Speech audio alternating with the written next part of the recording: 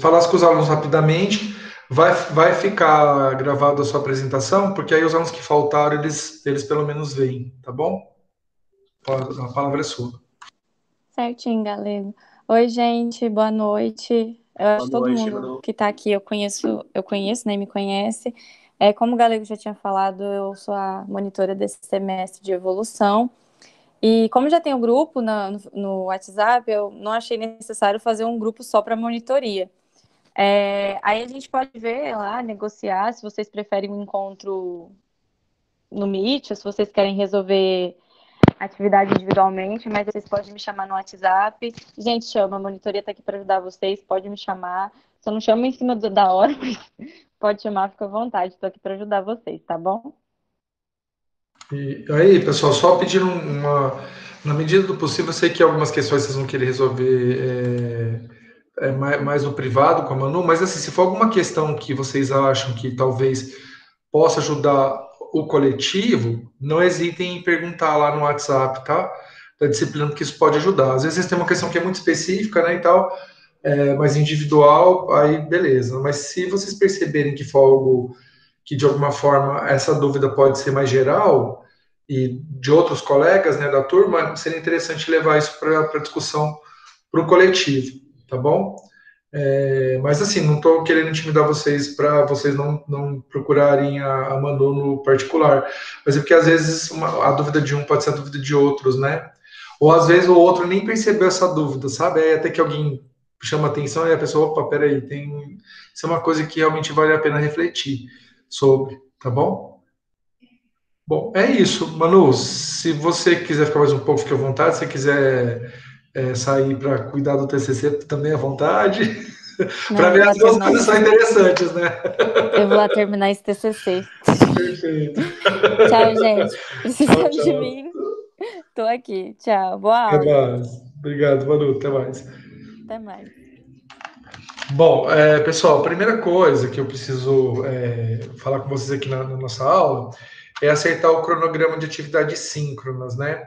É, o que acabou acontecendo é que a gente antecipou, né? A aula da semana passada, a aula que seria hoje, a gente conseguiu fazer a semana passada, e aí foi possível reorganizar o nosso cronograma de forma que a gente vai ter mais uma semana de atividade assíncrona, que aí vocês podem utilizar, por exemplo, ou para fazer o seminário, ou para realizar as atividades previstas para os módulos, tá bom?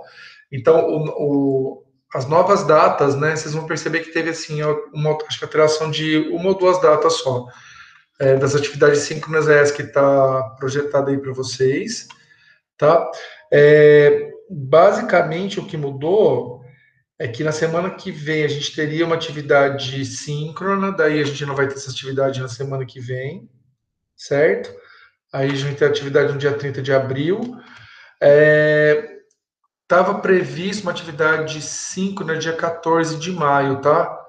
Então, a atividade síncrona do dia, é, da semana que vem e a atividade síncrona do dia 14 de maio, é, elas não vão ocorrer, certo? Então, se vocês tiverem, se vocês tiverem utilizado aquele primeiro conjunto de dados que eu apresentei para vocês, vocês, por favor, façam a correção. De qualquer maneira, eu já fiz o ajuste lá no Google Agendas, eu acredito que vocês tenham recebido e-mails avisando. É, eu sugiro que todos vocês utilizem o Google Agenda nesse período, porque ele avisa para a gente o dia que tem aula e tudo mais, certo? É, apesar de que eu vou sempre fazer o que eu fiz hoje lá no grupo, tá, do WhatsApp. Eu vou falar, ó, oh, pessoal, a gente tem aula daqui a pouco, certo? Mas é mais para que vocês se organizem mesmo, certo? Dito isso, é, a gente vai discutir o tema da aula de hoje, que, na minha opinião, é um dos temas mais incríveis da biologia evolutiva. É justamente que esse tema é como se fosse um tema é, um tema de base para a biologia evolutiva e para a biologia que é a origem da vida, né? Gente não pode esquecer que a biologia estuda a vida, né? E a biologia evolutiva estuda as mudanças pelas quais a vida passou a partir do ancestral comum. Então, basicamente, essa é uma aula base tanto para a biologia evolutiva quanto para a biologia. É como se fosse um ancestral comum, né? Para todas as áreas da biologia. Porque se a gente consegue estudar biologia, é porque a gente consegue estudar a vida, e é só possível estudar a vida porque a vida, em algum momento da história da Terra, ela surgiu. Certo? E é, o que a gente vai discutir na aula de hoje é exatamente isso. Lá no ambiente virtual de aprendizagem, vocês vão ter uma pergunta para responder sobre isso, né? Que é, que é uma atividade avaliativa. Mas além disso, eu coloquei uma, eu coloquei duas, além dessa videoaula que a gente vai ter hoje, que é essa atividade síncrona é sobre isso, que aí a gente pode, né? Vocês podem perguntar e discutir no momento que vocês tiverem a dúvida aqui. Mas além desta aula, eu disponibilizei uma aula do, do Atila, que ele trata da questão de origem da vida, que ele faz isso de uma forma bem sintética, e eu acho que vale a pena vocês assistirem a dele, e uma outra que é um vídeo didático que é utilizado é, como material de apoio pela editora moderna, tá? Então eu disponibilizei dois vídeos para vocês que tratam a questão da origem da vida, é, mas eu recomendo fortemente que vocês assistam os dois, vocês vão perceber que o da editora moderna é um pouquinho mais simples, do Atila ele consegue né, abordar com uma, uh, temas complexos com muita simplicidade, né? Então acho que vale muito, muito, muito, muito a pena vocês assistirem esse vídeo dele, certo? Que a, isso ajuda a complementar o que nós vamos discutir hoje. Dito isso, então a primeira coisa que a gente precisa é, conversar aqui sobre a origem da vida é que por muito tempo o paradigma é, que era o principal, e a gente viu isso na aula da semana passada, era o paradigma fixista. E aí também a gente não pode perder de vista que a base filosófica da biologia é a proposta do Aristóteles. Então, a, a filosofia aristotélica, ela é, digamos assim, a fonte primária na qual a biologia bebe. Então, se a gente pode falar que o, digamos assim, o primeiro pensador a abordar as questões biológicas, né, principalmente questões de classificação biológica, foi o Aristóteles. Só que além disso, o Aristóteles ele tem uma contribuição extremamente importante para essa origem da biologia, que é a proposição de como os organismos surgem. Então, o Aristóteles ele tra traz essa ideia da biogênese, né, que é também chamada de geração espontânea, e nessa perspectiva, né, a matéria não viva, a partir da ação de um princípio ativo, ela poderia dar origem a um organismo certo?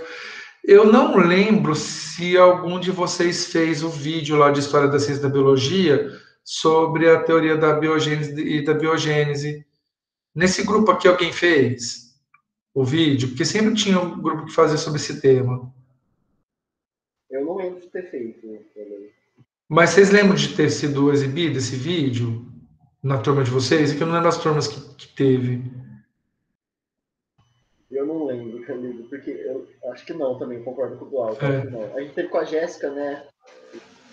Ah, tá, verdade, vocês não fizeram comigo. É, é. ah, não, mas... Aí o também, né, deu um Não, mas foi História da Ciência. Foi antes, ah, vocês fizeram comigo. Ah, vocês fizeram comigo, História da Ciência. É verdade, é verdade, História da Ciência. Não foi é, é porque não é todo semestre que o pessoal apresentava, né, é, esse vídeo da, com, sobre biogênese. Mas eu, não tem problema, mas eu acredito que talvez vocês já tenham é, talvez ouvido isso em algum momento aí da escolarização de vocês, né? Mas basicamente esse princípio quem propõe é o Aristóteles e isso vai perdurar por muitos séculos, certo? Então assim essa perspectiva de que os organismos poderiam vir a partir da matéria não viva, ela perdurou por milênios, para falar bem a verdade. E aí uns exemplos, né? Alguns exemplos aqui que eram utilizados por exemplo, larvas de inseto no lixo, né? É, a proposta é que o lixo se transformava em larva de inseto e o princípio ativo estava relacionado à própria matéria orgânica, né? Então, aquela matéria orgânica jogada no lixo tinha o princípio ativo que poderia gerar essa transmutação e dar origem às larvas de inseto. Só para vocês terem uma ideia como que era essa perspectiva. Um outro exemplo clássico é que os girinos surgem a partir da lama do lago certo? Que é a mesma coisa, né? Aquela matéria orgânica que existia lá no lago poderia ser o princípio ativo que poderia desencadear, desencadear todo o processo de produção de girinos. Inclusive, existe um, uma receitinha né, de produção de ratos é, que é atribuída ao Helmont, né? Então, basicamente, se você colocar no ambiente grãos de trigo, uma camisa com suor, é, após algum tempo, né, após, no caso, o Helmut até determinava o número de semanas, né, após três semanas surgiam ratos. E aí a explicação do Helmut é que os grãos de trigo se transformavam em ratos, de, de, em, em, virtude da presença do suor humano, que era o princípio ativo, certo? É, eu acredito que em embriologia, vocês devem ter visto qual era a perspectiva. Quando você descobriu, por exemplo, a morfologia do, do espermatozoide, é, naquele momento você achava que o espermatozoide ele continha uma unidade humana, que era chamada de homúnculo. Vocês chegaram a ver essa representação na aula de embriologia? Não, acho que não, hein? E em momento nenhum do curso vocês viram essa questão do homúnculo? Eu não lembro também do Carlos não. falar. Tá, porque a gente normalmente vê isso em embriologia, mas qual a ideia que se tinha, né? Que o espermatozoide, ele continha como se fosse uma sementinha, né, da, da humanidade, que era matéria bruta, e aí a partir, né, do contato dessa matéria bruta com o útero é, da mulher, porque se conhece, a anatomia se conhece há muito tempo, tá, gente? Desde a Idade Média você tem noção da, da, da, Aliás, desde a Idade Antiga, né? Você tem noção das partes do corpo. E aí o princípio ativo estaria relacionado ao corpo, né, da mulher. E aí, dependendo da qualidade desse princípio ativo, aquela sementinha, né, que era matéria bruta, ela poderia dar origem a um menino ou uma menina. Se fosse uma, um princípio ativo de boa qualidade, dava origem ao menino. Se fosse um princípio ativo de baixa qualidade, dava origem a uma menina, certo? E aí até falo para os meus alunos que essa, essa ideia que se tem, né, do papai plantou a sementinha na mamãe, isso aí vem desde, né, da, da Idade Média, e até um pouco antes, é, na verdade na transição, na Idade Média e Idade Moderna, quando tem a, o avanço né, das técnicas de, de, microscopia, as primeiras, né, as primeiras investidas, né, na questão da microscopia, e aí é possível é, perceber esse formato né, do espermatozoide. Então, se atribuía todo né, o, o, poder de gerar vida a essa unidade não viva, e aí o princípio ativo do corpo materno ele estava relacionado à produção de meninos ou meninas, dependendo da qualidade. Né? Então, veja o que, que tem por trás disso. Tem por trás uma perspectiva da teoria da biogênese da vida, pensando na questão dos humanos. Então, humanos, eles tinham essa origem a biogenética, e aí, em parte, se a gente pensar a própria Bíblia traz essa ideia que o homem né, veio do pó, que o homem foi criado a partir do barro, então você tem uma, uma perspectiva da biogênese, né? E aí o sopro da vida de, de, Jesus, de Deus, né? De Jesus, não, de Deus, que Deus que criou o homem, né? É, ele seria esse princípio ativo, esse, esse princípio vital, né? Então vejam que essas questões elas foram muito é, importantes durante boa parte da história da humanidade, né? Então a perspectiva da biogênese ela se manteve. Então a gente fala dessa questão é, do suor da origem porque a, se colocava isso num, num, quarto escuro e aí apareciam os ratos e a ideia é que os ratos surgiam de forma miraculosa, né? E não que eles eram atraídos. E pensando na questão do humano, vejam que tinha uma visão machista, né? Até que, que era validada pelo pensamento digamos assim, científico, entre aspas, da época. Então vejam que a teoria da biogênese, ela, ela tem, além dessa questão, né, é, de se atribuir uma certa, um certo poder divino, né, porque esse princípio ativo, esse princípio vital, ele, ele tinha um quê de divindade nele, né, que está relacionado a alguma coisa é, da criação divina. Então esse sopro é, divino para a produção do homem, formação do homem, então ele podia se, digamos assim, respingar em todas as criaturas. Então é como se fosse uma forma de energia que remanesceu né, da, dessa criação original por Deus. Então é uma, é uma assim tem que pensar que a ideia é do Aristóteles, obviamente que não tem essa ideia de Deus, né, cristão, que a gente vai vai né, que vai incorporar a humanidade posterior, né, para Aristóteles. Mas essa ideia foi incorporada pelo cristianismo, né? Só que aí, ao invés de ter aquele, aquela perspectiva politeísta dos gregos, passa a ter a perspectiva monoteísta de um Deus, né? É, como uma entidade suprema.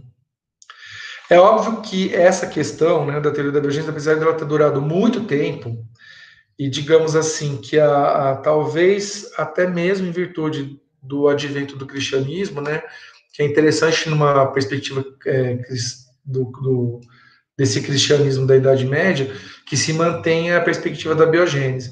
Mas é óbvio que é, muitas, muitas pessoas, né, digamos assim, muitos pensadores que se preocupavam com essa questão da, do estudo dos organismos, eles começaram a perceber que é, não era infalível essas questões aí da teoria da biogênese. E aí, até o século XVIII, né, que é quando começa, a ter as grandes investidas né, contra o pensamento abiogenético, é, vários organismos tinham saído da lista de organismos que poderiam surgir na matéria bruta, tá? E aí inclui-se o homem. Então, o homem ele saiu dessa. Não se utilizava mais uma perspectiva biogenética para explicar como que o homem poderia ah, aparecer. Mas aí isso se manteve para os invertebrados, principalmente para os micro-organismos. E é importante contar uma historinha rápida para vocês, que começa lá no século XVII, é, com Francesco Redi.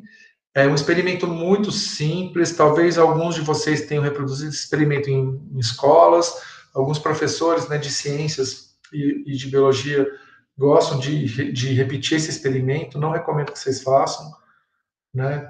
Carne em decomposição não é uma coisa, o cheiro não é agradável e é perigoso também em virtude dos micro-organismos que podem crescer nesse, nesse substrato, tá? Então, basicamente, o que o Red fez? Ele colocou um pedaço de carne, né, em tubos abertos, em tubos fechados, e aí ele deixou esses pedaços de carne. E aí, o que ele observou? Que à medida que a carne ela foi entrando em decomposição, a, moscas, né, do ambiente externo entravam dentro do tubo e aí na, lá no substrato elas ovopositavam e a partir desses ovinhos que essas moscas depositavam na carne de decomposição surgiam as larvas. E isso não ocorria para os tubos fechados, porque as moscas não tinham acesso. Esse experimento do Francisco Redi, que é um experimento relativamente simples, mas aplica de forma brilhante o método científico, ele contribuiu para que se é, que, os, que os invertebrados em geral eles não surgiam mais por abiogênese. Então ele provou que os animais, né, e plantas surgiam de forma biogenética e não a biogenética como se acreditava. Porém, para os micro-organismos, a ideia da biogênese se manteve. Então, para os organismos mais simples, digamos assim, para os, para os seres unicelulares, a ideia é que eles surgiam por abiogênese. E aí um experimento uh, clássico, né, foi realizado por Nidran. O Nidran, na verdade, ele era um defensor da biogênese, tá?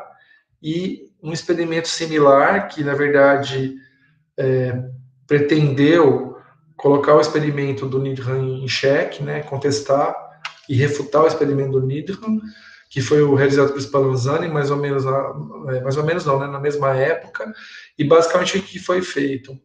Ah, um caldo nutritivo foi fervido, tanto pelo Nidran quanto pelo Spallanzani, e aí depois esperou-se para ver se os organismos eles iam surgir de forma abiótica ou biótica. Aí o que, que Spallanzani fez? Ele ferveu esse caldo, deixou os tubos abertos e depois de um tempo apareceram micro-organismos. Certo? Ah, e aí o Spallanzani, o que, que ele fazia? O que, que ele fez? Como foi o experimento dele? Ele ferveu um caldo orgânico, mas é, vedado, né, com uma rolha, e mesmo depois de muito tempo, esse caldo orgânico não apresentou a presença de micro-organismos. O que, que o Nidran alegou né, para essa não ocorrência de micro-organismos? Que ao ferver o caldo, né, esse caldo orgânico, houve uma perda do princípio ativo. Então, na verdade, ele, o, o Spallanzani não tinha só esterilizado o, ambiente, mas é, eliminado o princípio ativo. E ao deixar aberto, né, segundo Nidran, o princípio ativo contido no ar poderia, é, digamos assim, estimular aquela matéria orgânica para que desse origem aos micro-organismos, certo? Ah, e aí, a, o que o Spallanzani argumentava é que o Nidran não tinha eliminado todos os micro-organismos presentes no caldo, né? Então, na verdade, nem o Nidran nem, o Spallanzani, eles perceberam, né? O, o, o Spallanzani, na verdade, ele achou que o fato de ter sido fervido aberto poderia permitir que alguns micro-organismos continuassem esse caldo nutritivo. E, na verdade, houve esterilização. O problema é que, como ficou aberto, houve recontaminação, certo? É, esse imbróglio ele só foi resolvido no século XIX com os experimentos do Pasteur. O Pasteur, ele ferveu né, o caldo orgânico, só que ele permitiu a entrada do ar, que era a questão né, que o Needham tinha, tinha colocado, né, que era a, a falta de não, a, em virtude de não haver né, essa oxigenação, digamos assim, impedia o princípio ativo. Né? Então ele manteve, mas utilizando né, um, essa adaptação aqui que é chamado de, de pescoço de cisne, né, para esse tubo balão, ferveu e não apareceu microorganismo. Então ele manteve, né, vários tubos desses aqui pós fervura sem microorganismo. Ao quebrar, né, esse gargalo aqui, em pouco tempo houve crescimento microbiano. E aí o Pasteur é, conseguiu provar com esse experimento que ah, os micro-organismos que apareciam, eles não apareciam por abiogênese, na verdade existia alguma forma latente desses micro-organismos que estavam no ar, e ao chegar no meio nutritivo, eles conseguiam crescer, né, e se reproduzir. E aí por isso que tinha essa, essa presença, né, de micro-organismos depois que quebrava uh, esse gargalo. O gargalo em, com esse formato, é, por que, que ele permite a entrada de ar e não permite a entrada de micro-organismos? Uh, esses micro-organismos, geralmente, eles estão na forma de esporos, tá? Dificilmente eles estão numa forma, é, digamos assim, ativa, que é bastante comum para fungos, bactérias, né? Essa forma em esporo. Como ele, essa forma é mais densa que o ar, o ar ao passar por aqui, como aqui é mais fundo, pela ação da gravidade, é, esses, digamos assim, esses contaminantes ficavam todos acumulados aqui. Então, esse formato aqui, ele atuava como um filtro para esses micro-organismos, para esses micro-organismos. Por isso que não havia contaminação, mesmo com a entrada do ar. E aí, para vocês terem uma ideia, esse experimento do Pasteur, ele foi tão, assim, incontestável, que se parou de discutir a origem da vida por mais de 50 anos. Por quê? Porque se a gente pensar que a origem da vida na Terra, a gente tem que pensar um cenário no qual não havia vida, e posteriormente a vida surgiu, a gente tem que pensar uma origem que de, em algum momento ela foi a biogenética. Ou seja, a partir da, de substâncias não vivas, a, alguma coisa poderia ter acontecido para dar origem ao primeiro ser vivo. Só que esse, esse experimento Pasteur foi tão contundente que durante 50 anos essas essas investigações que, né, que, que elas estavam é, começando a ganhar espaço, né, principalmente em virtude né, da, da, aceitação da teoria do, do, Darwin e do Wallace. Não se esqueçam que o Darwin e o Wallace, na verdade, eles propõem a questão de seleção natural, mas o Darwin ele propõe essa esterilidade comum, que aí tem uma questão, né, uma ligação muito forte com a origem da vida. E, e aí esse experimento Pasteur mostrou assim, ó, peraí, é, eu estou mostrando que é, a vida vem de vida, então a matéria bruta provavelmente não dá origem à vida.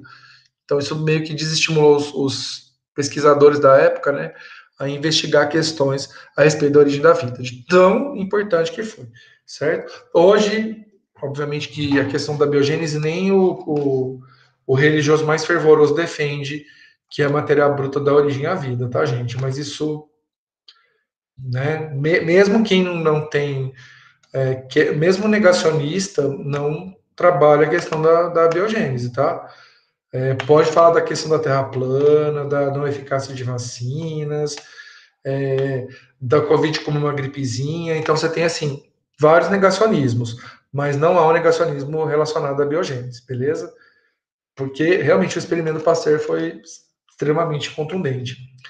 E as contribuições do Pasteur, eu acredito que o professor Fernando discuta com vocês na, nas aulas de microbiologia, elas vão bem além dessa contribuição para biogênese e biogênese, né?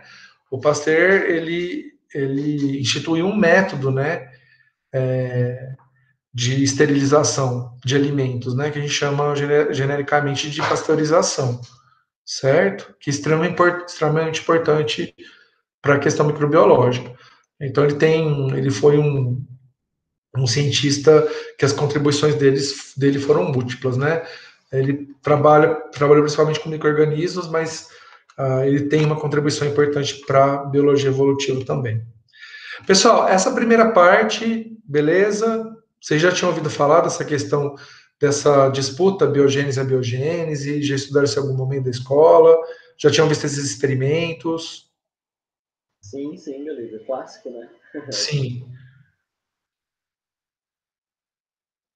Bom, além do Daniel, mais alguém viu, gente? Eu sou o Daniel. E, Galego, tipo, o Pasteur e o Darwin, eles tinham alguma relação?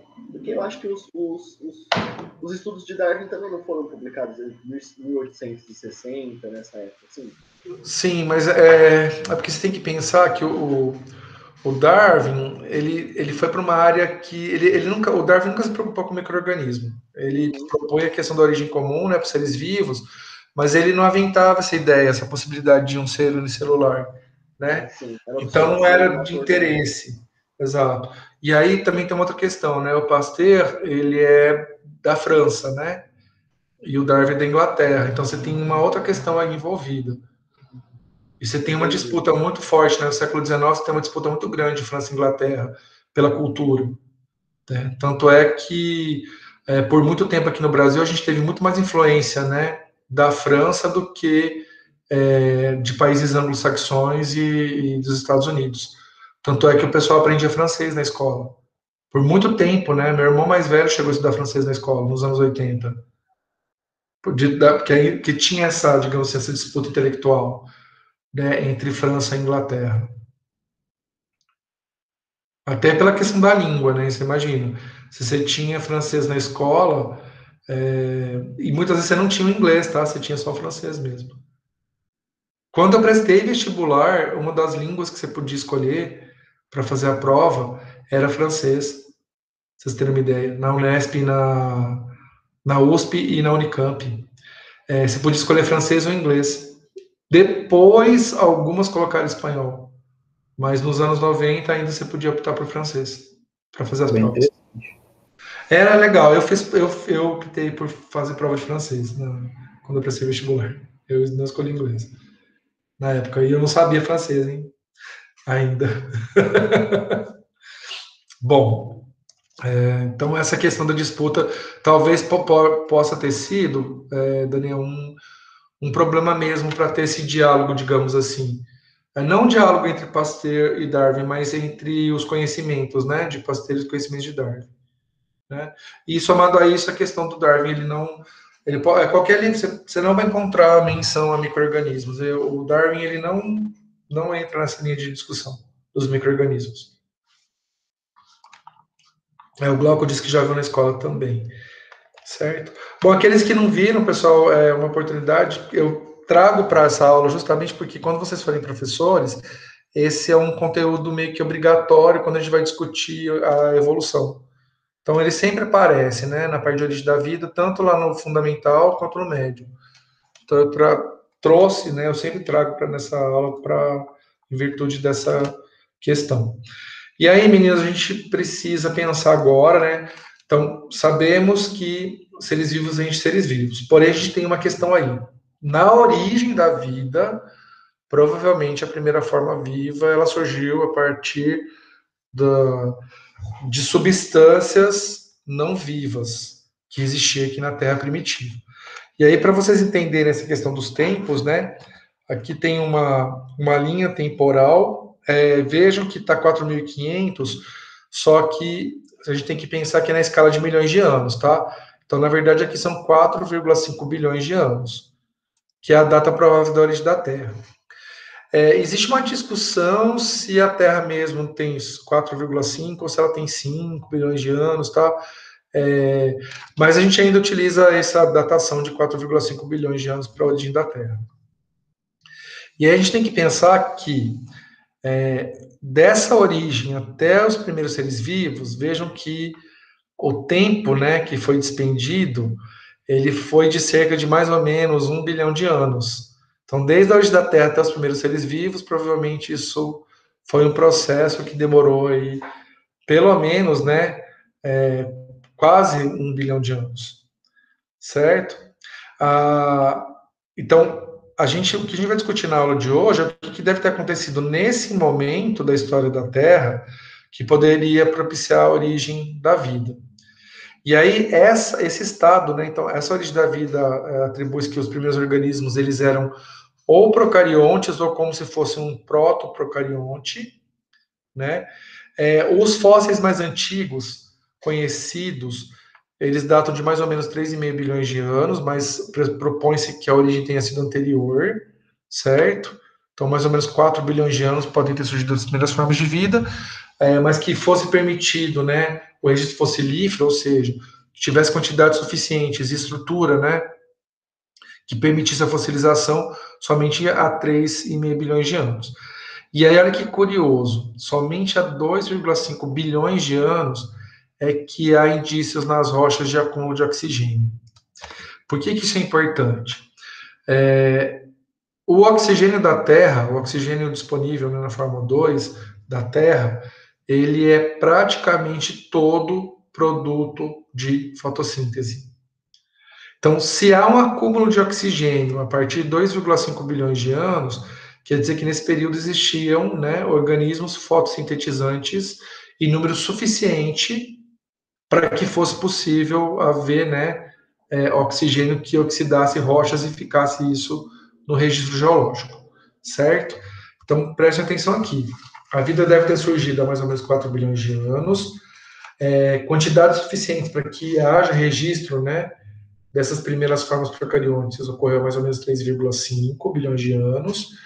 O acúmulo de oxigênio, que sugere né, a origem dos primeiros, né, do, do número significativo de fotossintetizantes, foi mais ou menos há 2,5 bilhões de anos. E esse tempo aqui todo, ele é dominado por organismos procariontes.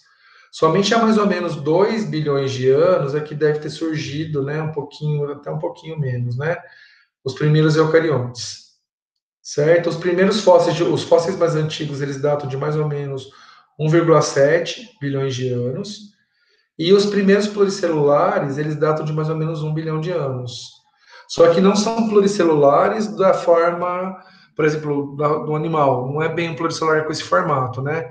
Seriam aquelas cadeias filamentosas, né, que a gente tem em cianobactéria, por exemplo, ou nas algas, né? Mas não pluricelulares pensando organismos com órgãos, né, com diferenciação durante o período embrionário e tudo mais. Ah, e aí os animais mais antigos, os fósseis, eles datam de mais ou menos 600 mil anos, ah, perdão, 600 milhões de anos, que aí esses fósseis de animais eles estão relacionados principalmente a grupos de invertebrados, né? É, artrópodes principalmente, é, moluscos também, né? Você tem aqui nesse nesse momento e vários outros filos que foram extintos, certo? Então aqui nesse período de mais ou menos 600 milhões de anos. Ah, no período de mais ou menos 500 milhões de anos, há um domínio né, das plantas, e aí, só mais recentemente é que a gente vai ter outros animais, né? Vertebrados e tudo mais. E aí, só lembrando que nesse período que é o Mesozoico, é, tem a extinção dos dinossauros e os primeiros humanos vão aparecer no Cenozoico. Sabe? Mas na pontinha do Cenozoico. Aqui é o seguinte, pessoal, a extinção dos dinossauros, ela tá aqui nesse filetinho, tá vendo? E a origem dos humanos está na pontinha de todo esse período de tempo. Então vejam que, se a gente considerar né, o tempo que a vida surgiu na Terra e o tempo que os humanos estão aqui, é insignificante, é menos que uma ponta de um alfinete, certo? E aí, considerando né, que há um cenário anterior aqui sem vida, então pode ter acontecido alguma coisa aqui nesse momento, entre 4,5 e 4 bilhões de anos, que essa matéria inorgânica ela poderia de alguma forma se organizar e dar origem aos primeiros seres vivos. E aí, pensando nessa perspectiva, a ideia da evolução química de substâncias não vivas até que sejam formadas as primeiras formas de vida. Porém, né, essa ideia da evolução química de substâncias não vivas, ela se opõe fortemente à perspectiva criacionista, né, que propõe que os seres vivos eles foram criados, né, por um ser divino. Mas é uma hipótese alternativa, tá, gente, que é utilizada. Uma outra hipótese é que a, a vida da Terra ela surgiu em outro planeta e aqui chegou, por exemplo, carregada por um meteoro, certo?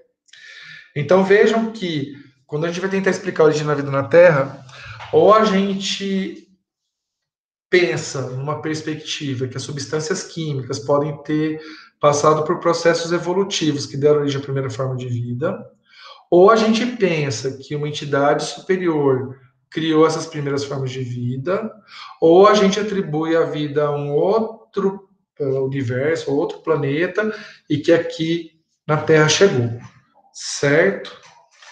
É, como a gente está falando de ciência, eu acho que a gente pode descartar, nesse contexto que a gente está conversando aqui, a questão do criacionismo, certo?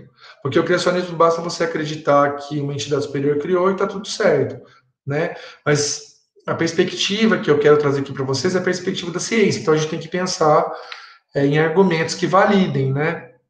Em evidências que existem na natureza que me permitem validar a, a hipótese. Então a gente aí tem duas hipóteses na mão.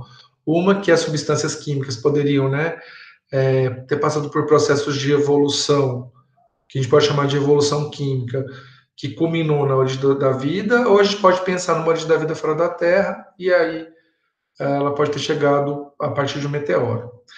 É, a hipótese da panspermia, ela não resolve o problema que é como a vida surgiu. Porque se dizer que a vida veio de um outro lugar, não, a gente não consegue entender como seria possível, né, que a vida tenha surgido. Quer dizer, a vida sempre existiu, então, né? É, então a gente também vai descartar para essa aula de hoje a hipótese da panspermia. E aí a gente vai focar na questão da evolução química das substâncias não vivas, certo? E aí, para a gente que pensa na questão da evolução química de substâncias não vivas, então a gente precisa pensar em elementos que eram bastante comuns na Terra primitiva, certo? E que constituem os seres vivos atualmente. Então, carbono, hidrogênio, oxigênio e nitrogênio, eles eram elementos muito abundantes na, na Terra primitiva e são né, elementos muito importantes na constituição dos seres vivos. Né? Porque se a gente pensar, por exemplo, polissacarídeo, lipídio, ácido nucleico, todos eles apresentam né, carbono, hidrogênio, oxigênio e nitrogênio na sua composição. Ah, e mesmo atualmente, esses elementos eles existem de forma abundante no ambiente, certo? Registros geológicos também indicam que na época né, de 4 bilhões de anos atrás, existia também esses elementos em grande abundância, porém não na forma livre, tá? A gente não tinha carbono livre é, ou oxigênio livre, mas existiam moléculas, né, substâncias que continham né, esses elementos na sua constituição. É, basicamente, quando a gente pensa né, na questão da constituição de uma pedra e de um ser vivo, os elementos químicos, né, que participam dessa Constituição, eles são muito similares. O que vai acontecer é que a maneira que esses elementos eles estão organizados em substâncias e nas moléculas é que difere para uma pedra de um humano, certo? Mas se a gente pensar no elemento químico, na composição de elemento químico, é tudo muito parecido. Agora, como esse elemento químico é encontrado, se é na forma de uma proteína, se é na forma de um óxido, aí é uma outra história certo? E aí, pensando nas condições da atmosfera primitiva, e aí até hoje a gente utiliza né, a proposição do Oparan e do Haldane, que foi feita nos anos 20, né, que a Terra primitiva, ela basicamente formada né, por bastante água é, em temperaturas altas, em virtude da radiação solar, né, que além de aquecer o planeta né, e manter a atmosfera com uma temperatura alta, também não tinha nenhum tipo de, digamos assim, filtragem das radiações, né, que vinham do Sol. É, havia uma estabilidade geológica enorme, então era muito comum erupções vulcânicas e tudo mais.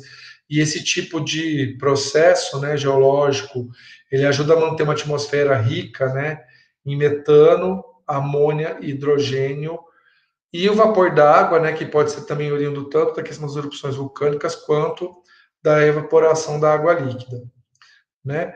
É, nas rochas, era muito comum, justamente em virtude de um predomínio de rochas do tipo magmáticas, um predomínio de rochas que continham enxofre na sua constituição, que é um outro elemento químico que é importante na constituição das proteínas, né?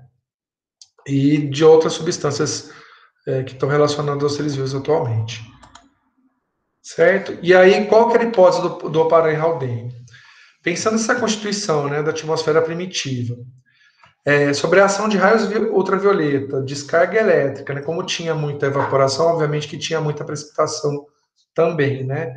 Então, esse monte de nuvens carregadas produziam as descargas elétricas. Sobre a ação do calor, era possível a produção de moléculas orgânicas simples, né? É, monossacarídeos, ácidos graxos, por exemplo, nucleotídeos, aminoácidos.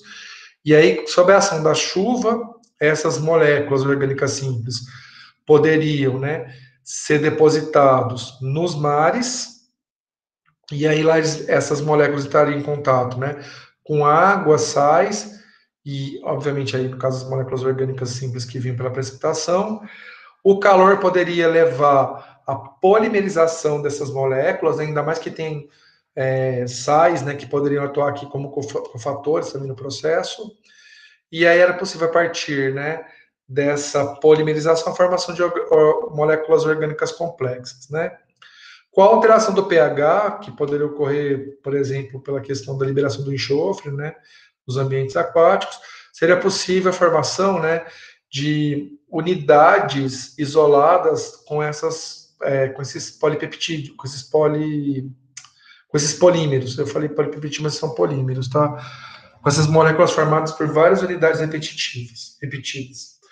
E esse ambiente isolado, ele poderia propiciar, é, digamos assim, reações químicas mais ou menos controladas, com o ambiente fechado, então aumenta a probabilidade das reações, até que a partir dessa estrutura que o Pará e Haldane chamavam de cor acervada, seria possível a origem das primeiras formas de vida. Certo? Beleza? Pessoal, entenderam o cenário, o, o cenário hipotético né, da Terra primitiva proposto pelo Pará e Haldane e de que maneira esse cenário poderia possibilitar a origem da vida? Sim, beleza. Tranquilo para todos? Beleza. Pessoal, eu vi que a, a Ana Luísa entrou e aí ela saiu. É... A Lara também, ela estava e saiu, né? E aí eu não vi nem a Larissa e nem o Guilherme. Eles não entraram mesmo, não, né? Em momento nenhum da aula. Não que eu lembro, galera. Pelo menos que eu não perdi, não entrou. Tá, é porque eu não vi eles ainda também não, né? Eu tô, porque eu, eu faço controle de presença, apesar que não conta a presença na atividade síncrona, mas eu faço controle. Luísa tá aí? aí, ela falou. Ah, tá, obrigado, Ana, que você não tá aparecendo aqui para agora apareceu. Agora apareceu. É, o Guilherme, a Lara estava, mas eu acho que ela saiu, né? Ou ela caiu, não sei. A gente sabe que a internet, gente. Ah, tá. É porque você fica saindo para mim toda hora, mas beleza, Ana. Tomara qualquer coisa você me fala, viu? Bom, pessoal, então considerando né, essa primeira forma de vida, é, e aí essa hipótese do Paren-Haldane, ela ainda é bem aceita, tá? Vejam que é uma hipótese que, que ela já tem 100 anos, e ainda assim, né, mesmo com a, digamos assim, a evolução dos conhecimentos a respeito da, da Terra primitiva e das possibilidades, né, de, de organização das moléculas orgânicas e tudo mais, ainda essa hipótese do Paren-Haldane, ela é bastante atual. Né?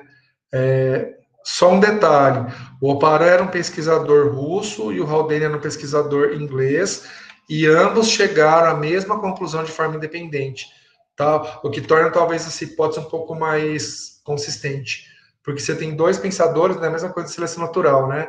Do Wallace e do Darwin, ou do teorema de Hard-Weinberg, que é a mesma coisa. Você tem dois pensadores que chegaram à mesma proposição. O que, que você ia falar, Daniel? Que eu vi que você ligou o microfone. Eu, eu não sabia, eu achava que tinha sido um projeto em conjunto. Não, não era muito comum, né, nessa, nesse período, essas parcerias, sabe, Daniel? O mais comum era o pessoal fazer o, o, né, suas investigações de forma independente e solitária, e aí, eventualmente, quando eles conversavam, eles poderiam tentar somar esforços, né? Mas esse tipo, por exemplo, de que, que na verdade nem o Parana e o Haldane são biólogos, né? Eles são químicos. E basicamente quem estuda a origem da vida hoje são químicos ou bioquímicos, né? Não são biólogos. Porque você tem que ter um conhecimento muito maior, um conhecimento muito maior de química do que de biologia para tentar né, é, entender essa situação aí da Terra primitiva e a provável origem a partir de substância inorgânica, né? origem de substâncias orgânicas e posteriormente a origem da vida. Bom, pessoal, uma proposta é que esse organismo, esse primeiro organismo, né? Aí eu tenho que pensar uma etapa posterior dos conservados, tá? Que aí eu tenho que imaginar que aqui o sistema já está controlado e você tem a formação de um organismo que a gente pode chamar de primeira forma de vida, ou protobionte, ou LUCA. Tá? O termo LUCA também é utilizado. É, o termo LUCA é a abreviação em inglês do último ancestral comum a todos os seres vivos. Certo? Então você pode ver, você pode encontrar com o termo LUCA, pode encontrar com o termo protobionte, é, protoprocarionte, também eu já vi, certo? Então, você tem várias maneiras de você é, dar, dar, uh, chamar esse, essa primeira forma de vida. Mas, basicamente, a proposta é que é, as substâncias, né, existentes dentro do organismo, elas ficavam isoladas a partir de uma membrana externa. E já se propõe que essa membrana, ela apresentava algum tipo de permeabilidade, de forma que algumas substâncias que estavam fora, né, do organismo pudessem entrar.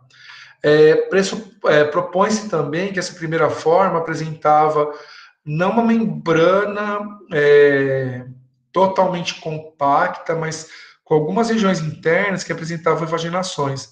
Tá vendo? Não sei se vocês conseguem ver na figura, que tem as representações aqui, né, de algumas evaginações. Ah, Propõe-se também que boa parte da estrutura, né, dessa célula formada por microesferas ou proteonoides, certo? E que a informação genética poderia ser condicionada por DNA ou RNA. E a gente vai discutir qual seria, né, a provável molécula de informação. Porque é o seguinte, pessoal, para um ser ser considerado vivo, ele precisa atender alguns critérios. Então, por exemplo, é, ele precisa ter uma estrutura. E essa estrutura é basicamente formada por matéria orgânica, certo? E essa estrutura, ela pode ser uni, ou acelular, se a gente pensar em vírus. Ah, o primeiro, o organismo vivo também, ele precisa obter energia e também ele precisa manter a estrutura celular dele, certo? E aí, para ele poder obter energia, ou ele vai, vai obter energia por fermentação, ou por respiração, ou por ambos processos, certo? No caso do, da estrutura, o metabolismo estrutural. O metabolismo estrutural ele pode né, acontecer ou a partir né, da ingestão de matéria orgânica, que é o que acontece com os, os heterotróficos, nos organismos heterotróficos, ou por produção de matéria orgânica a partir de processos metabólicos internos, que é o caso dos autotróficos, certo? E aí o organismo também tem que ser capaz de se reproduzir. E aí a reprodução ela depende, né, é, da utilização de alguma molécula que mantenha a informação, certo? E aí a reprodução ela pode ser sexuada ou assexuada e a molécula que vai, digamos assim, manter, vai guardar a informação para que haja uma identidade, né, na geração seguinte, pode ser um DNA ou pode ser um RNA, certo? É, ficou claro para todos esses, digamos assim, essas condições para algo ser chamado de vivo?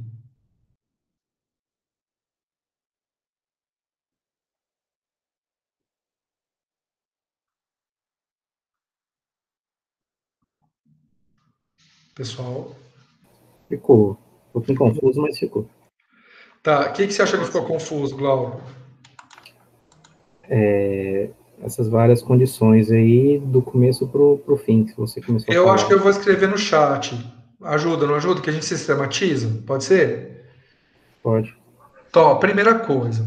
O, o organismo, ele precisa ter uma estrutura, certo?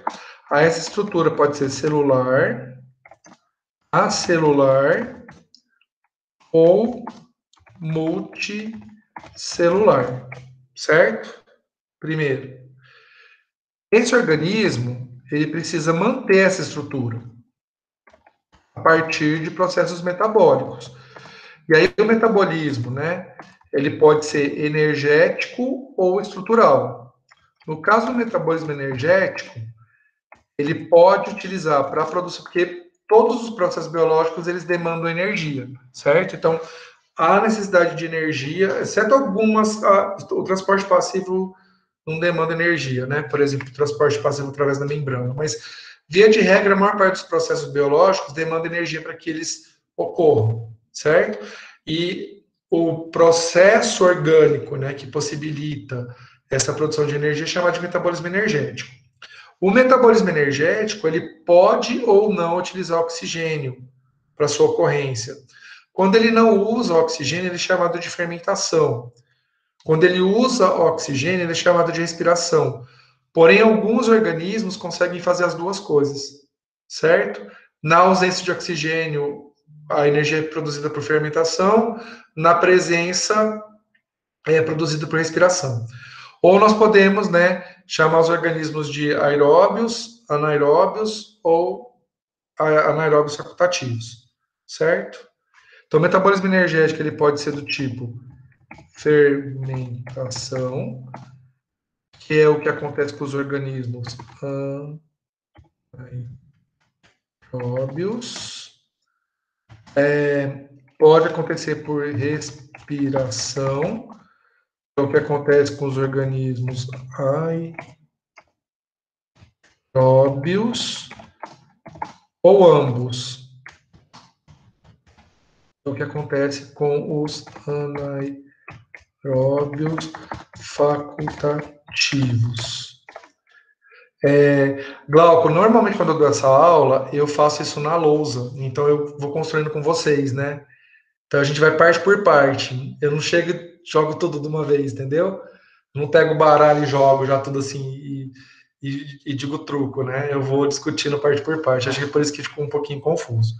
É, eu estava é, anotando aqui, eu fiquei perdido na hora começou a disparar. É, não...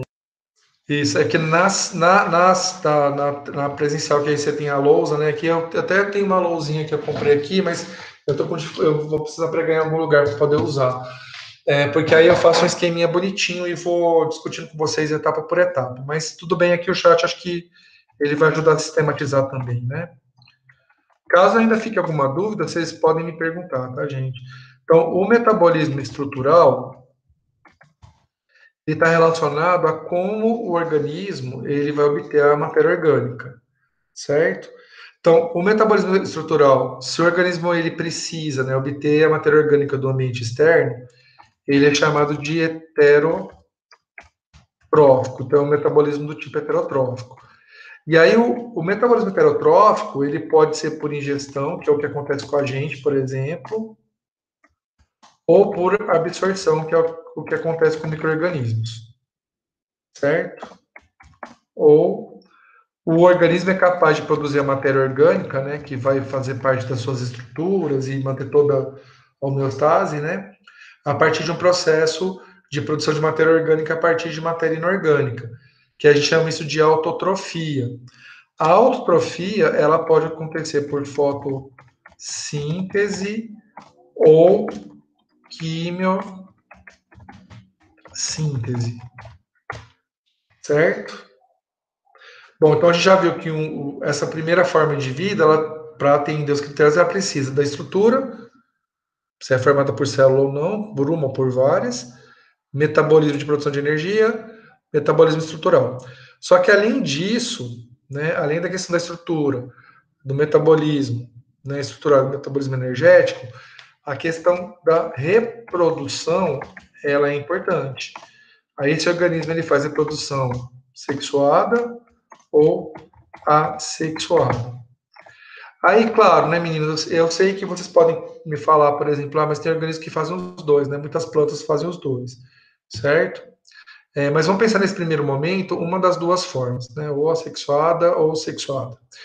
A mesma coisa quando a gente pensa em metabolismo estrutural. Alguns organismos, eles conseguem fazer autotrofia. Então, por exemplo, as euglenas, né, que vocês viram é, em, ou na disciplina de invertebrados ou na, em alguma disciplina de botânica, né? É, a euglena, na presença da luz, ela faz fotossíntese. Porém, quando não tem, foto, não tem luz, o cloroplasto ele se atrofia e aí a euglena ela deixa de ser um ser fotossintetizante e passa a ser um predador. E aí ela faz heterotrofia por ingestão. Então, a gente consegue encontrar na natureza organismos que têm, ah, digamos assim, os dois processos funcionando no próprio corpo, certo? Da mesma forma que acontece com a questão dos anaeróbios facultativos. Ah, e aí, um outro, uma outra questão importante, né, que para manter tudo isso, isso precisa de alguma forma estar tá codificado. Senão o organismo ele não consegue se reproduzir, né? Então, todo, como o organismo vai funcionar, isso precisa estar de alguma forma registrado em alguma é, estrutura. E a informação, ela nos organismos vivos, ela é armazenada nos ácidos nucleicos, certo? Que pode ser o DNA, o RNA, porém as proteínas que são, né, um produto da tradução do RNA, que por sua vez é um produto da transcrição do DNA, elas também podem conter informação. Então, as três moléculas aí, elas poderiam ser candidatas à fonte de informação, tá? DNA, RNA ou proteínas, certo? Ficou mais fácil agora, pessoal, entender essas, esses, digamos assim, é, pré-requisitos para um ser vivo? Ficou, ficou. Sim, sim. Perfeito. E aí, pensando na primeira forma de vida, vocês acham que ela era celular, acelular ou multicelular?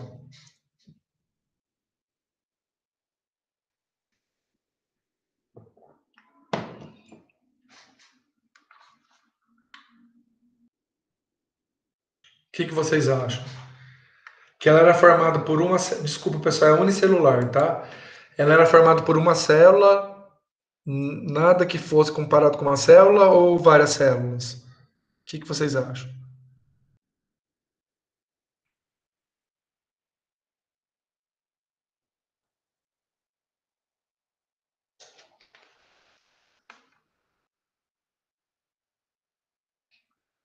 Ninguém quer arriscar um palpite?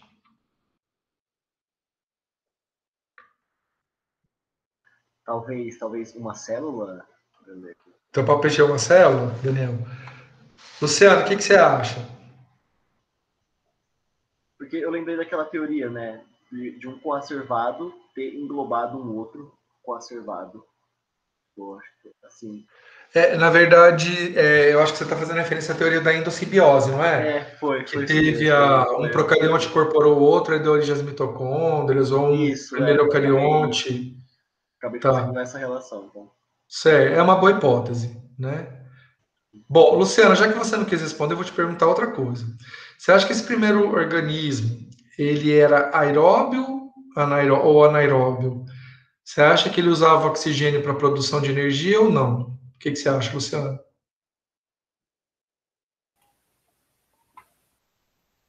Eu acho que ele era anaeróbio. Não tinha oxigênio na atmosfera, é, né? Uhum, é. Uhum, boa, boa, uhum. tiro certeiro. É. Beleza. Daia, você acha que ele era heterotrófico ou autotrófico? Ah, eu acho que ele era heterotrófico. Certeza? Não, só acho mesmo. Jéssica, você concorda com ela?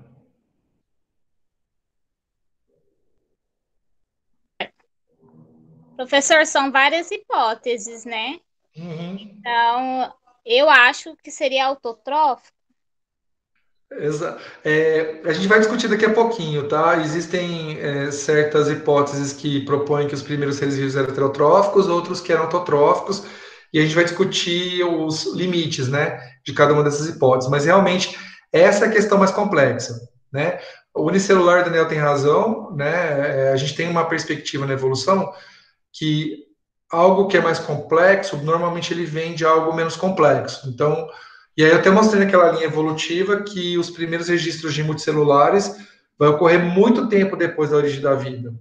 Então era pouco provável que os primeiros seres vivos fossem multicelulares. Eu estou usando o termo multicelular porque aí, é, quando eu utilizo a ideia do multicelular, eu posso pensar um grupo de células, né, que são iguais. Entende? Não, não necessariamente eu preciso pensar em diferenciação celular. Quando eu falo em pluricelular, aí eu já penso em organismo que tem diferenciação celular, certo? Então, por isso que eu estou usando o termo multi ao invés de pluri.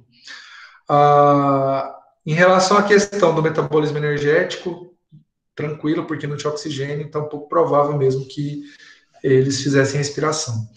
E aí, Glauco, outra pergunta complexa. De reprodução, eu já vou falar para vocês que é assexuada, tá?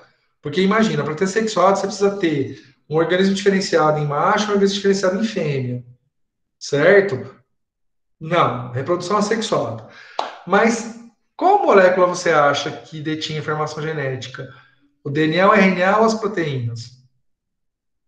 Acho que as proteínas, né, por serem mais simples, menores. A hipótese é interessante, porque se a gente pensar na proteína, você já tem algo que detém informação genética e já tem função.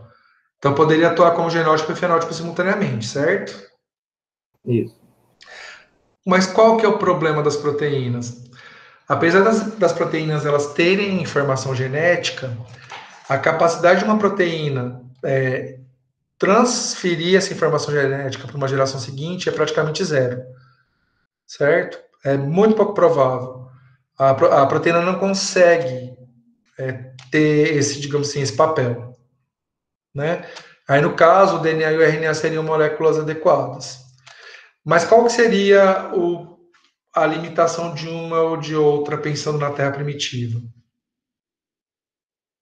Em outras palavras, será que é mais provável que esse primeiro ser vivo ele tivesse a informação genética codificada em DNA ou codificada em RNA? O que, que você acha, Glauco? Ah, eu chutaria RNA também por ser, por ser mais simples. Eu sou bem simplista assim nas minhas teorias, assim. Então, eu vou sempre pro lado mais, mais curto, mais fácil. É, por análise de parcimônia, você tem, você tem, o teu raciocínio está correto, tá?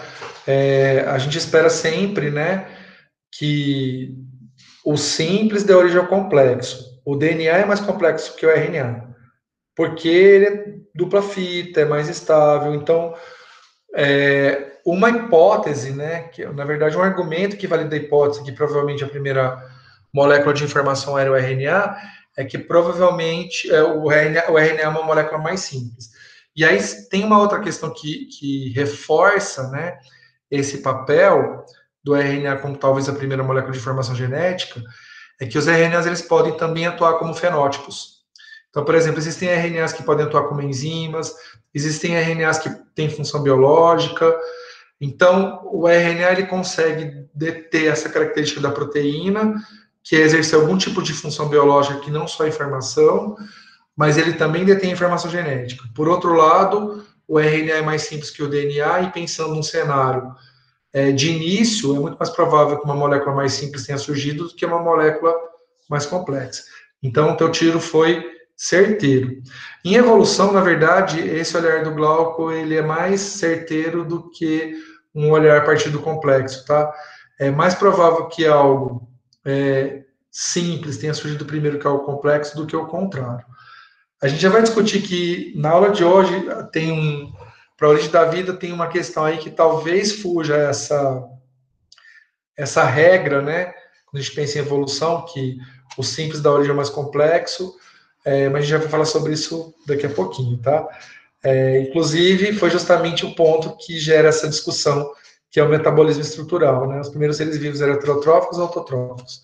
E a gente vai discutir essa questão da complexidade, que talvez aí a gente tenha uma outra questão em jogo, certo? Bom, pessoal, voltando um pouquinho para a questão, eu chamei a atenção para vocês da, da questão da, do primeiro ser vivo, porque eu trouxe nessa imagem como seria o primeiro ser vivo, porém, esse cenário aqui, proposto pelo Aparelho Haldane, ele é um cenário hipotético. Porém, nos anos 50, Miller, né, sob a orientação do Uri, ele desenvolveu um sistema no qual ele reproduziu as condições da Terra primitiva. E aí ele conseguiu, a partir desse sistema, no qual né, ele, ele manteve os gases da, da hipótese Haldane, que foram submetidos né, à radiação, descarga elétrica, alta temperatura, e em poucas semanas né, eles conseguiram obter é, moléculas orgânicas simples, né? Aqui está só aminoácidos, mas não foram só aminoácidos, tá? Eles conseguiram é, nucleotídeos, é, conseguiram também monossacarídeos, então não foi só aminoácidos, não, eles conseguiram outras coisas. E algo interessante é, que os, esses tubos, né, que continham os, digamos assim, essa matéria orgânica produzida a partir do experimento do Miller e Urey, foi guarda, os tubos foram guardados. E aí, nos anos 2000, algum, um pesquisador ele resolveu reanalisar essas amostras. E aí, o que, que ele encontrou? Moléculas orgânicas complexas e outros aminoácidos e outras moléculas orgânicas simples que o Uri Miller não tinha encontrado. O que, que isso significa? Que uma vez que essas moléculas são produzidas, desde que elas sejam mantidas no sistema fechado, seria possível a formação de novas moléculas, né, simples, e também de moléculas complexas. Além disso, eu não sei se, se vocês todos aqui já fizeram caramelo, né? Quando a gente pega o açúcar e faz o caramelo, a gente está justamente transformando uma molécula orgânica simples, que é um disacarídeo, em uma molécula orgânica complexa. O caramelo é um polissacarídeo. O açúcar, ele é um disacarídeo. Então vejam que com a ação do calor é possível que a gente produza uma polimerização. Agora imagina que calor era algo que não, faltava na Terra primitiva. Então a questão de produção, se é possível a partir daquela atmosfera primitiva, a produção de moléculas orgânicas simples, a produção de moléculas orgânicas complexas é um passo também meio que óbvio, certo? E por que que esse achado em relação ao experimento do Uri Miller é interessante? Lembra quando eu falei para vocês aqui que a ideia é que seria possível que essa, esses polímeros, né, que foram formados, é, eles podiam ser isolados por membranas de água e aí esse sistema isolado ele poderia de alguma forma é, potencializar a origem da vida. Então, se a gente pensar que cada um desses tubos que foram mantidos aí por 50 anos, o que, que são 50 anos do ponto de vista evolutivo, né, gente? Nada, nada.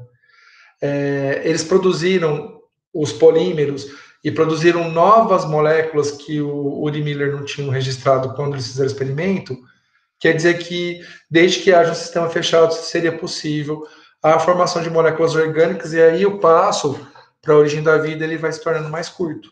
Né? A distância para a origem da, da, vida vai se tornando mais curta. Certo?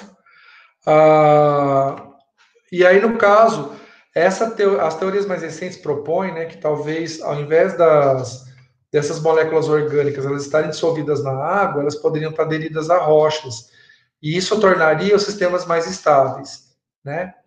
Ah, uma outra coisa também que nessa estrutura seria possível, por exemplo, que moléculas de RNA elas ficassem aderidas e moléculas de RNA são muito instáveis, mas se elas estiverem aderidas a uma estrutura sólida, elas tendem a se tornar mais estáveis. Isso poderia permitir, por exemplo, a manutenção da informação genética, certo? Ah, as outras questões aqui foi o que eu disse sobre a respeito né, da, do RNA também atuar como enzima, por que são considerados ribozimas, e a questão da endossimbiose, né, que eu acho que é isso que o, o Daniel acabou discutindo, eu vou tratar em mais detalhes em uma, em uma figura mais para frente aqui. Certo? E aí, por que que essa, a, digamos, essa ideia né, da produção das substâncias é, orgânicas nas rochas, ela tem ganhado força. É, vários experimentos né, envolvendo essa questão de matéria orgânica simples e rochas, e rochas e argilas, né? É que é possível a ocorrência muito fácil de ligação peptídica nessas estruturas de adesão, né? Essas estruturas de adesão permitiriam a formação de estruturas chamadas proteonoides, que aí entra, né, aquele modelo que eu trouxe para vocês lá do Luca, ele é a estrutura interna dele é cheia de microsferas dessas, né, de proteonoides, que poderiam ser formadas a partir dessa adesão com as argilas. E aí poderiam, né, esses proteonoides poderiam crescer, se dividir, e aí seria possível a origem da vida. A questão é a seguinte: é, por mais que a gente consiga produzir os proteonoides em laboratório, do proteonoide até uma célula, pessoal, o passo é muito maior. Então, o que acontece? até a questão da formação, digamos assim, de estruturas similares a coacervados, já existe certas evidências científicas que isso seria possível. Aí, desse estado coacervado para o estado protobionte, aí passa um pouco maior e até o momento não foi possível ainda nem fazer isso de forma indutiva, né? É, nem de forma dedutiva e não há nenhum tipo de evidência que ajude né, a, a se entender esse passo. Então, esse campo da origem da vida ele ainda permanece bastante obscuro. O mesmo acontece né, é, em relação à questão de, da, da, que esses primeiros organismos tinham reprodução assexuada, certo? Apesar disso, né, a Jéssica e a Dai, elas trouxeram, elas acabaram meio que defendendo duas perspectivas em relação ao metabolismo estrutural, é, e aí essa é uma questão que ainda é discutida, mas existe uma, digamos assim, o cabo de guerra está pendendo mais para o lado do autotrof, da origem autotrófica, e eu vou contar para vocês agora por quê. Certo? Ah, no caso do. do né, da, a gente tem que pensar que esses primeiros organismos, né, e a Luciana apontou bem, eles provavelmente produzem energia a partir da fermentação. Não tinha oxigênio, então o processo de, de produção de energia que existe atualmente nos organismos que não utilizam o oxigênio é a fermentação. E aí, por que, que é importante chamar a atenção de vocês para isso? Mesmo organismos que são aeróbios, uma parte do mecanismo, ele é, que a glicólise, né, que participa do processo de respiração, ele na verdade é o que a gente chama de fermentação. Então, mesmo nos organismos no qual houve evolução da, do, da respiração, foi retida esse estado ancestral da fermentação numa das etapas, certo? E é claro que a gente também pode, né, inclusive, é, parar o processo de produção de energia só na glicólise, que acontece nos músculos, por exemplo, superatividade.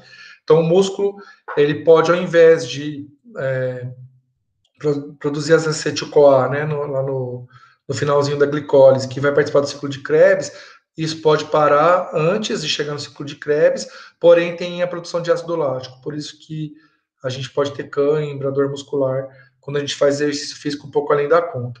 Certo? Que na verdade é uma via de produção de energia mais rápida, que é uma via similar às vias de fermentação. Certo? Então, uh, que o primeiro organismo era fermentador, isso não é nem questionado, porque mesmo os organismos atuais que fazem respiração, eles têm uma etapa que é similar à fermentação. Certo? E aí a questão é a seguinte: na fermentação, você tem essa questão da produção de energia. Se a gente pensar num organismo que seja heterotrófico, né, a, a manutenção de um estado heterotrófico ela seria mais otimizada é, caso o organismo ele fizesse respiração ao invés de fermentação. Então esse é um primeiro ponto. Por quê? Porque o, processo heterotrófico ele demanda mais energia para ocorrer do que o processo autotrófico. Então, isso pressupõe um cenário no qual a respiração talvez fosse um mecanismo de metabolismo energético. Porém, eh, não existia oxigênio, então é pouco provável que esses organismos eles fossem heterotróficos. Então essa é uma, digamos assim, é uma é uma estrelinha para a hipótese autotrófica. Porém, porém, o processo autotrófico mais comum na Terra atualmente é a fotossíntese. E o processo de fotossíntese produz oxigênio. Se os primeiros organismos fossem autotróficos do tipo fotossintetizantes, a gente esperaria que houvesse registro de oxigênio é, nos estudos geológicos num período muito anterior do que aqueles que a gente encontra atualmente, certo? Então, é, será que esse organismo realmente era autotrófico? Então, um, mecanismo heterotrófico ele é mais facilmente mantido a partir de energia produzida por respiração. Porém, naquele período é pouco provável que tivesse respiração, porque não tinha oxigênio. Daí, provavelmente, um mecanismo autotrófico seria o, aquele, né, de metabolismo estrutural presente no, no primeiro organismo, presente no Luca. Porém, as formas, a forma mais comum de autotrofia que existe hoje é a fotossíntese, mas como não há indício de oxigênio na atmosfera, é pouco provável que esse primeiro organismo fosse fotossintetizante. Mas aí ele não seria autotrófico? Aí é que tá. os organismos eles podem ser autotróficos a partir da quimiossíntese, certo? Porque uma questão importante é, na produção de matéria orgânica a partir da matéria inorgânica é que tenha que o próprio processo ele libere energia para se autorregular, certo? Então o que acontece na fotossíntese? A fotossíntese, a fonte de energia, né, que vai sustentar o processo, ela é obtida a partir da estimulação dos elétrons presentes na clorofila. Então, essa energia que a luz do sol é, estimula a clorofila e que libera os elétrons, ela vai ser utilizada no processo né, de síntese de matéria orgânica. Só que é possível obter energia a partir desses elétrons, né, é, por meio de quebras de ligação. E aí o processo é chamado de quimiossíntese. Então é possível um processo autorregulado de produção de matéria orgânica, né, a partir não da estimulação da clorofila e liberação de elétrons, mas a partir da quebra de ligações químicas, que a gente chama de quimiossíntese. Então, nesse sentido, né, seria possível que a hipótese autotrófica ela fosse a mais aceita, né? E aí, a, só que a gente, se a gente pensar no, do ponto de vista do mecanismo, o mecanismo autotrófico, apesar dele ser autossustentável, do ponto de vista energético, que ele poderia ser mantido simplesmente pela quebra, né, lá das, das ligações, ele é mais complexo que a heterotrofia, que basicamente você precisa, você vai utilizar o alimento que tem no ambiente vai digerir ele em moléculas orgânicas mais simples, certo? E aí isso contraria um pouco o que a gente espera das, dos cenários evolutivos, né? Que estruturas mais simples dão origem a estruturas mais complexas.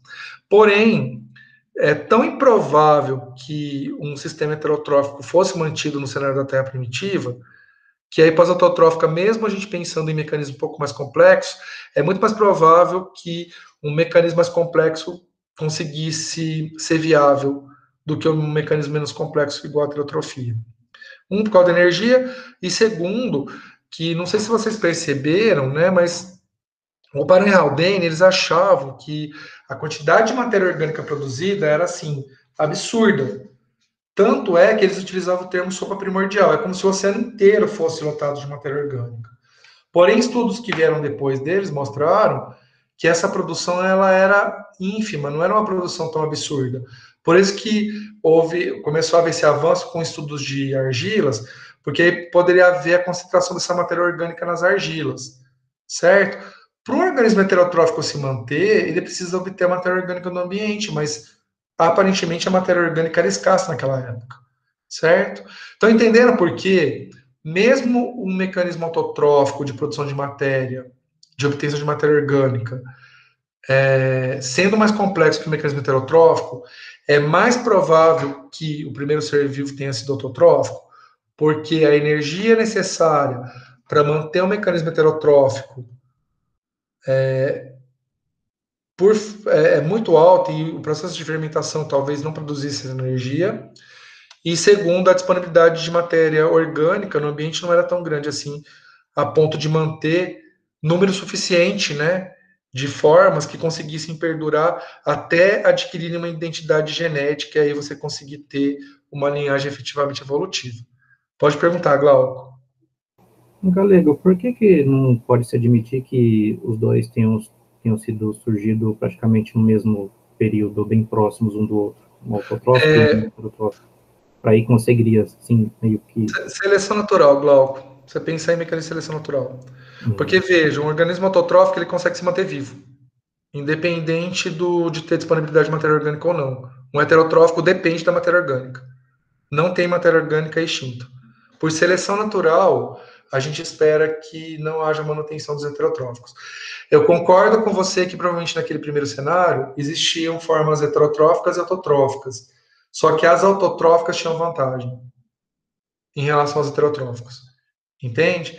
Então, é o cenário que se propõe que realmente existiam as duas possibilidades, porém, por mecanismo de seleção natural, é, e é, se a gente pensar que todas as formas de vida descendem desse ancestral, então, esse nosso, digamos assim, ancestral comum, ele era autotrófico. Não quer dizer que ele era o único organismo existente. Entendeu essa questão? Entendi, só que eu não concordo, porque eu estou com a minha cabeça na, em exemplo, no caso macroscópico, não macroscópico, né, mais pluricelular. No caso Sim. do zooplâncton e, e, e- entendeu? Mas você pe- pensa num, cenário. né? É, mas aí você tem, na verdade, você tem uma cadeia alimentar que mantém esse sistema funcionando, né? É, exatamente. Quando você pensa no plâncton, aí você tem que pensar no- numa. Zooplâncton fitoplâncton. Isso, mas você tem que pensar um cenário que não era, não era bem assim, né? Eles não necessariamente um autotrófico servia de alimento para um heterotrófico, nesse primeiro momento. Uhum. Eles eram mais ou menos independentes. Porque a hipótese que a matéria orgânica ela era obtida a partir de absorção daquelas moléculas orgânicas simples que estavam dissolvidas, né? A partir da formação do, das descargas elétricas e tal. Certo? Mas a, a, a ideia é essa mesmo, que nesse primeiro momento exi- existiam várias, digamos assim, vários organismos procariontes de vários tipos, mas aquele que efetivamente vingou, digamos assim, e aí possibilitou, né, a, a- que conseguiu se manter e aí conseguiu se manter com identidade em gerações seguintes, foi provavelmente um autotrófico. Certo? Não, não se descarta a hipótese que existiam vários, mas o fundador né, das formas de vida atuais, ele era provavelmente um autotrófico. Certo? Deu para entender, pelo menos, nessa perspectiva? A perspectiva desse cenário lá da, de 4 bilhões de anos. Deu? E aí, uma outra coisa que também acho que ajuda a validar é os fósseis mais antigos, né? Eles são de organismos autotróficos, porque são cianobactérias, né? São os estromatólitos, né? Que acho que vocês devem ter visto, ou vão ver com o Thiago, em paleonto, que fóssil, os fósseis mais antigos são dessas algas, né? É, e elas são autotróficas. Então, é uma coisa que talvez, se ficou fóssil disso, quer dizer que tem um predomínio muito grande desse tipo de organismo. Porque a fossilização está relacionada à disponibilidade de indivíduos, a, a probabilidade né, de ter um fóssil depende do, do número né, de indivíduos daquele organismo ali. Né, porque o processo é probabilístico né, de fossilização. Daniel, você ia falar alguma coisa? Não, não, galera. Tranquilo. Bom, é... a hipótese heterotrófica, que eu já falei para vocês, eu vou pular aqui que foi o que a gente discutiu. É, e aí a questão do oxigênio depois, porque aí é o seguinte, pessoal, pensando no organismo autotrófico por quimiossíntese, é, é possível, né, que a partir desse organismo, veja, um processo de quimiossíntese ele é mais simples que um processo de fotossíntese, certo? Então é possível a gente pensar a evolução da autotrofia por fotossíntese a partir de um estado ancestral de quimiossíntese. Tendo fotossíntese, aí começa a ver o quê? Liberação de oxigênio para a atmosfera. Com a liberação de oxigênio na atmosfera, começa a acontecer algumas coisas interessantes. Por exemplo, ah, num primeiro momento, o oxigênio é um gás que não tem. Se ele passa a ter, ele pode ter um efeito tóxico. tóxico. Então, ele passa a ter um efeito seletivo. De forma que aqueles organismos que têm algum tipo de mecanismo que consegue utilizar o oxigênio, que consegue sobreviver ao oxigênio, eles mantêm. Aqueles que não têm, eles são eliminados. É, com o aumento do oxigênio na atmosfera, é possível também a formação de uma camada que reduz a radiação. E isso torna os organismos mais estáveis. Por quê? Porque a radiação era um grande problema para manter a identidade genética e manter a informação, a informação genética íntegra por várias gerações, certo? E isso permite, por outro lado, é, formação de linhagens evolutivas a partir dessa, digamos assim, estabilidade dos genomas pela redução da radiação. Ah, e aí, claro, tendo oxigênio, é possível pensar que organismos que são capazes de utilizar oxigênio na produção de energia, eles podem se manter. Então, seria uma possibilidade para o surgimento dos aeróbios. Né? Além disso, a questão do oxigênio permite também a formação de uma, uma membrana proteica, porque até o momento, né, até, até esse momento da história dos organismos, a gente não pensa uma membrana proteica que é a, digamos assim, todos os seres vivos têm membrana proteica, mas esse protobionte provavelmente não tinha uma membrana proteica, era um outro tipo de organização. E aí poderiam surgir os primeiros procariontes também. certo? Aí eu vou pular essa parte da parte da quimiossíntese, que a gente comentou, a gente comentou sobre isso. E aí, para a gente terminar essa parte da origem da vida, a grande pergunta, né? Que não é tão grande assim. É, esse primeiro organismo, ele é um procarionte ou um eucarionte? Porque essas outras questões a gente acabou discutindo aqui, né? É, do metabolismo, do tipo de reprodução, da informação genética, mas e esse primeiro organismo? Ele era procarionte ou eucarionte? O que, que vocês acham?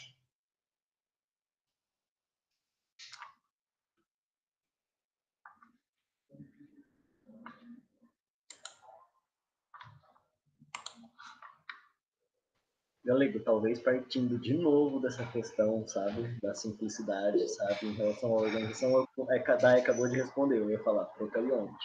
Exato. É, esse raciocínio que o Glauco trouxe, ele é um raciocínio importante na evolução, tá, gente?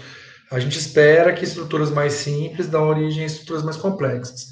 E é claro que algumas situações a gente não consegue explicar dessa maneira, mas aqui, de novo, essa é, a gente chama isso de parcimônia, mas no, no o termo popular para parcimônia é bom senso, né?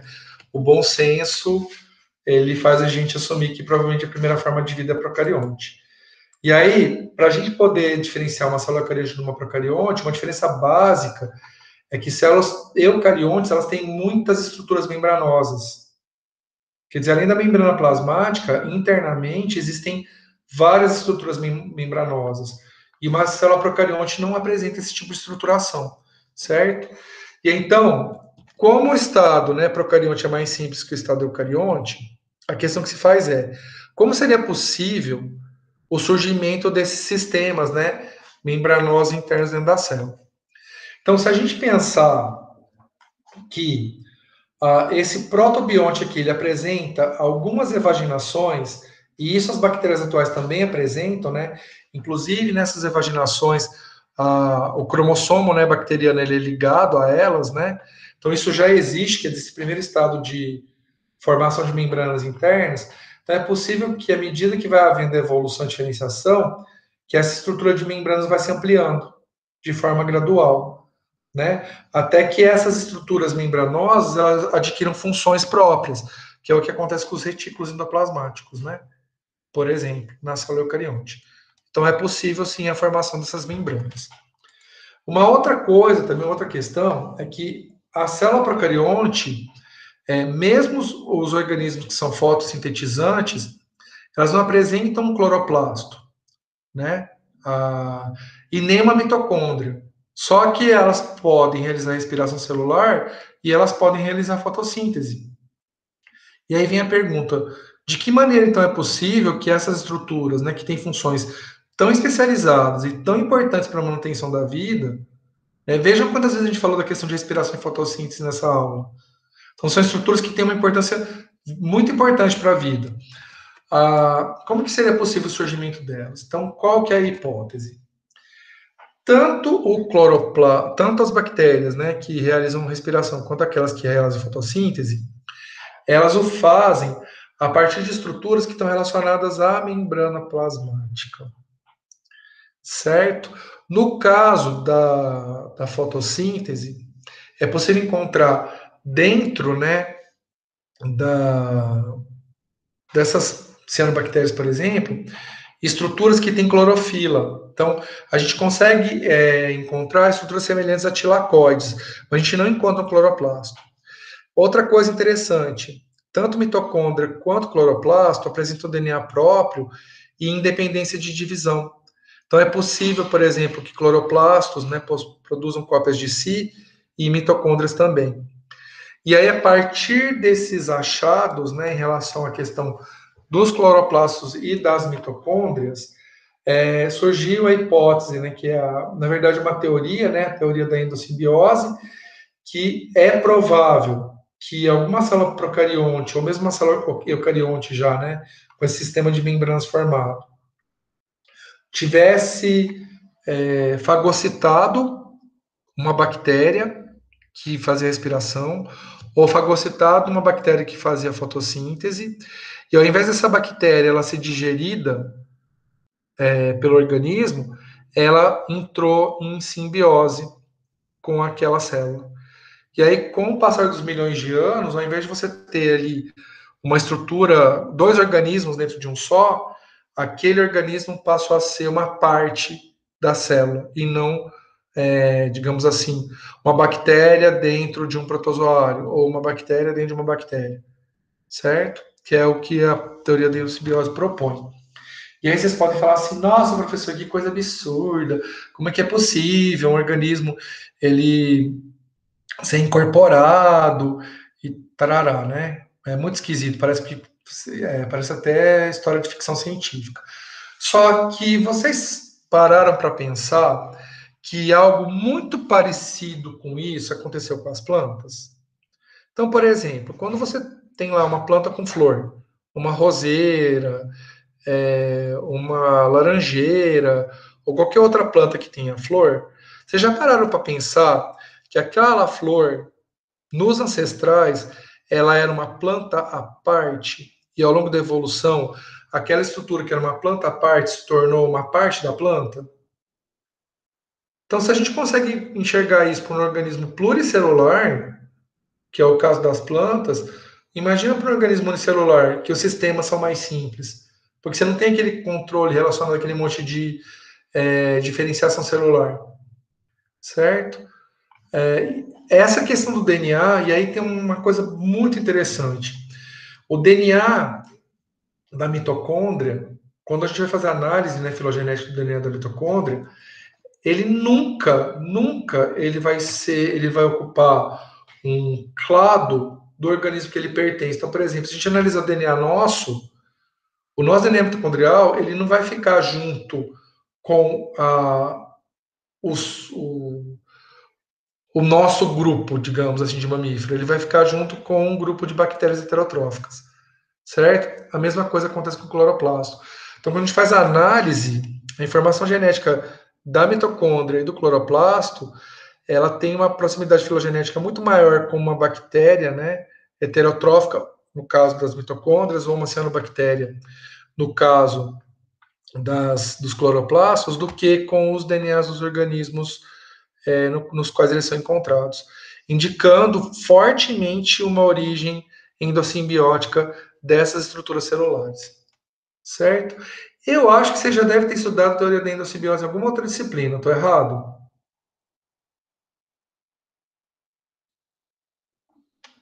Nós já estudamos sim, Galego, só não estou conseguindo lembrar de qual. Talvez biologia celular, viu? Talvez na biologia celular.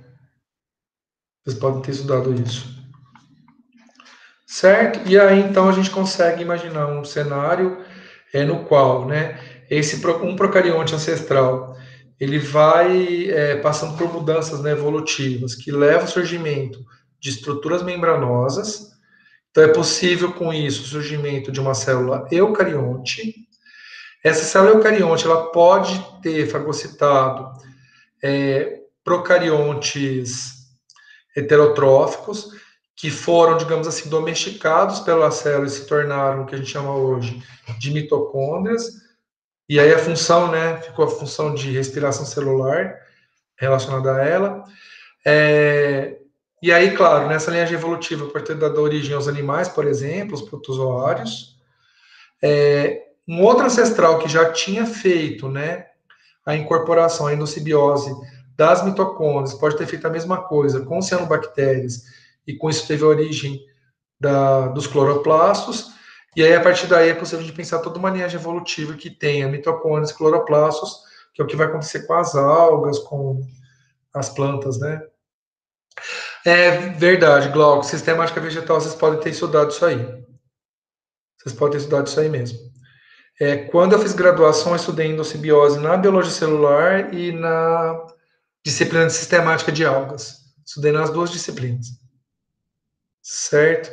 Ah, na paleonto também. Ótimo. Ótimo. Então, quer dizer que vocês já viram várias vezes, né? Muito bom. E aí que a gente fala de novo. Certo? E aí, pessoal, com isso a gente termina nessa discussão que eu acho fantástica sobre a origem da vida. E aí eu queria ver com vocês se vocês têm alguma pergunta, alguma dúvida. Né? Mesmo que vocês não tenham dúvida, pergunta agora, vocês podem fazer depois no WhatsApp também, tá? Tudo tá certo? Tranquilo, tudo certo. Tranquilo, né? pessoal? São legais Eu sei que- teorias. E, são- e a gente já ouviu também, né? Já viu algumas, né? Sim, a parte da biogênese, é, a biogênese e biogênese eu acredito que vocês já tenham visto, a teoria da, endossimbiose também. Talvez essa parte que a gente fala da, de como era esse primeiro ser vivo, acho que vocês não vão ter visto isso em Não. nenhuma outra disciplina. É, não Isso eu acho que é só aqui mesmo. Certo? O que, que você ia falar, Glauco? Não, eu só ia falar que eu discordo da sua linha do tempo lá que tá escrito extinção dos dinossauros, né? Ah, porque você, você propõe que as aves são os dinossauros atuais? É, não foram extintos todos, né? Eu concordo com você. É que a linha que eu peguei tinha aquela informação, mas eu estou de acordo com você. Eu também acho que é, esse é um problema histórico, sabe, Glauco, mais do que biológico. Eu acho que a questão das aves, elas, elas constituem uma classe, na verdade, e não os dinossauros, junto com o que a gente chama de aves, constituírem a classe.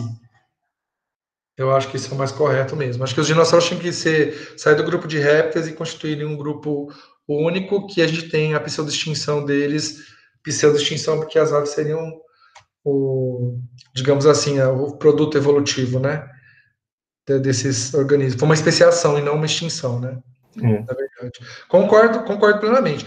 Eu não entendo ainda por que, que, a, que essa ideia que os dinossauros ainda são colocados, né, apesar que tem, já tem umas linhas mais, mais fortes, né, é, que, que já meio que não discutem essa questão, não falam da extinção dos dinossauros não nessa perspectiva, né, da extinção, mas na verdade uma substituição desses grandes grupos, desses grandes animais, né? Então, na verdade, você tem uma substituição desses desses lagartos terríveis, terríveis. Mas eu concordo. falar só dos dinossauros não avianos, né? Isso. Eu concordo com você também. Eu acho que foi bom você ter pontuado. É bom que está gravado, e aí os alunos vão assistir, eles vão ver isso aí também. É bom para eu pensar no próximo semestre, acho que eu vou mudar esse slide aí da linha do tempo, para deixar mais apropriado. Certo? Pessoal, mais alguma questão, algum comentário, alguma dúvida? Tudo certo. E aí, pessoal, para finalizar, só lembrando vocês que vocês têm que postar as atividades até dia 6 de maio, tá, pessoal? Eu sei que vocês estão com uma folga ainda, que hoje é dia 16, então tem um tempinho bom ainda para fazer as atividades do módulo 1, né? Aproveita a semana que vem que a gente não vai ter atividade síncrona e tentem fazer as atividades, certo? É, quando a gente tiver a próxima atividade síncrona, a gente já vai começar o módulo 2. É, vocês vão perceber que vai ter uma. é, no final do, do módulo, a gente já vai começar o outro módulo para que vocês. para que a gente po- possa fazer as transições. Certo? Beleza? É isso então, pessoal? Beleza, galera. Perfeito. Então, por hoje é só. Desejo um ótimo